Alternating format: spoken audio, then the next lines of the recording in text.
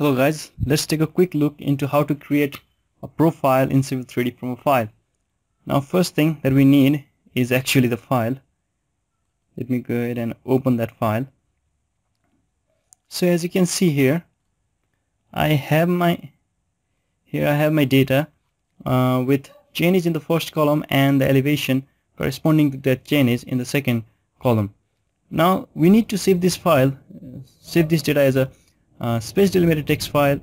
So to do that go to the file and in save as option under the save as type drop down as you can see there is no space delimited uh, text file option listed. So there is a couple of ways you can do that. You can either save it as a tab delimited text file or a comma separated value CSV file. Uh, you can do either one of those. I'm going to choose tab delimited text file. And for the file name I'll just name it profile or something like that.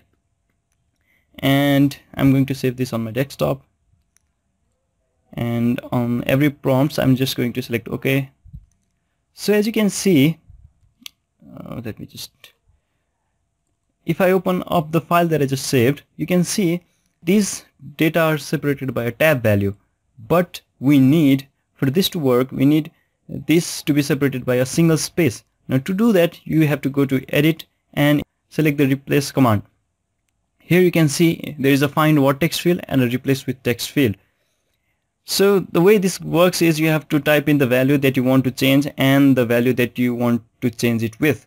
So for in this case we have to replace tab by space. But if you notice if you hit a tab key in the find what text field it takes you into the next text field and we still don't have any value in this field.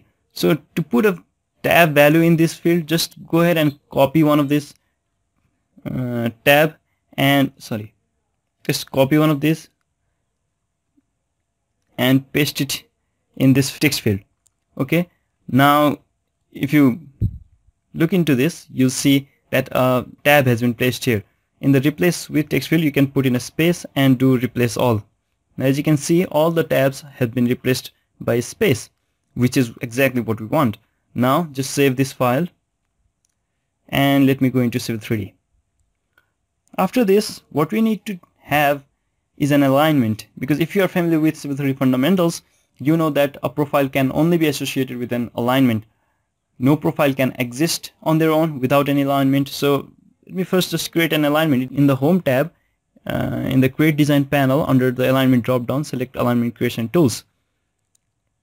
It will open up a dialog box well this will barely be an alignment creation tutorial so I'm just going to ignore all this option. I'm not going to teach what all of these options do. If you want to learn about this you can check out the other video where I teach about the alignment creation and all that. But in this tutorial just I'm going to give it a name. I'm going to name it sewer line or something. Okay sewer line. And I need to uh, give it a style of basic basic style and in the alignment label set maybe I'm just going to do a major and minor label set. Click OK and you will have the alignment layout tools. So for this tutorial a straight line alignment will do. We don't need curves.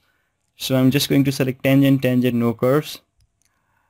Let me just see the length of my alignment actually. So it is 3500 meters here. So I'm going to create a 3500 meter long alignment just going to type in 3500 and there I have my alignment.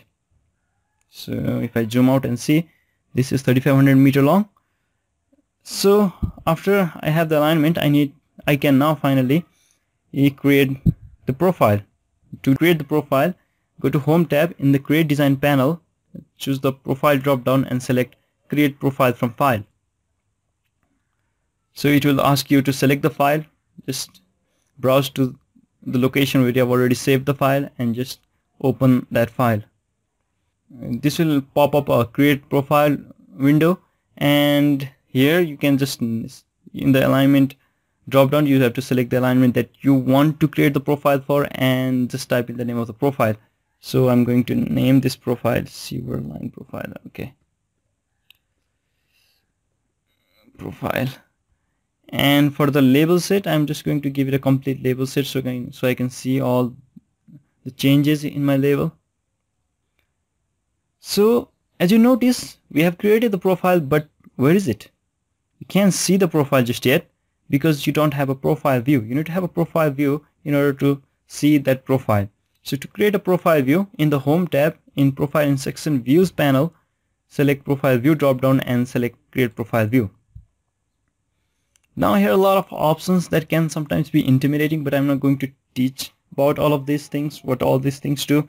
If you want to learn about all these things you have to go to check out another video about profile creation and profile view creation tutorial.